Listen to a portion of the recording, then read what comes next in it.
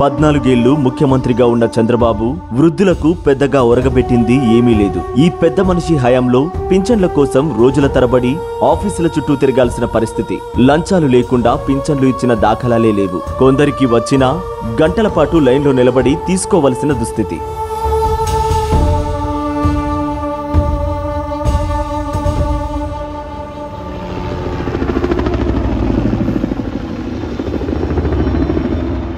మన జగనన్న ముఖ్యమంత్రి అయ్యాక పరిస్థితులు మారాయి. ప్రతి ఒక్కరికి వంద శాతం సంక్షేమ పథకాలు అందాలనే లక్ష్యంతో పనిచేస్తున్నారు మన జగనన్న.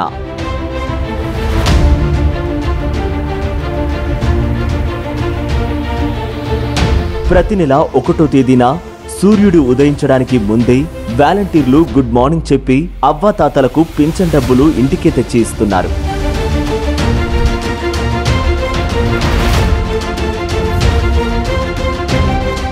చంద్రబాబు పాలనలో పింఛన్ వెయ్యి ఉంటే జగనన్న అవ్వాతాతలకు ఇచ్చే పెన్షన్ ఏంటో తెలుసా? రెండు వేల ఏడు వందల యాభై. అంటే చంద్రబాబు పాలనతో పోలిస్తే జగనన్న ఇచ్చే పెన్షన్ రెండింతల కంటే ఎక్కువ. పెన్షన్ ఇవ్వాల్సిన వయసును అరవై ఐదేళ్ళ నుండి అరవైకి తగ్గించి సంచలన నిర్ణయం తీసుకున్నాడు మన జగనన్న.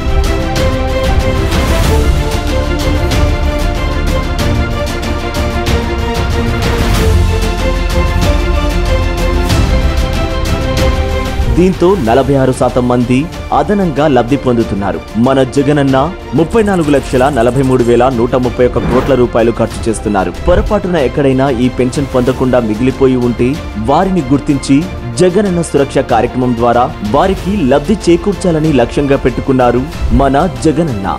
జగనన్న సురక్ష అవ్వాతాతలకు రక్ష.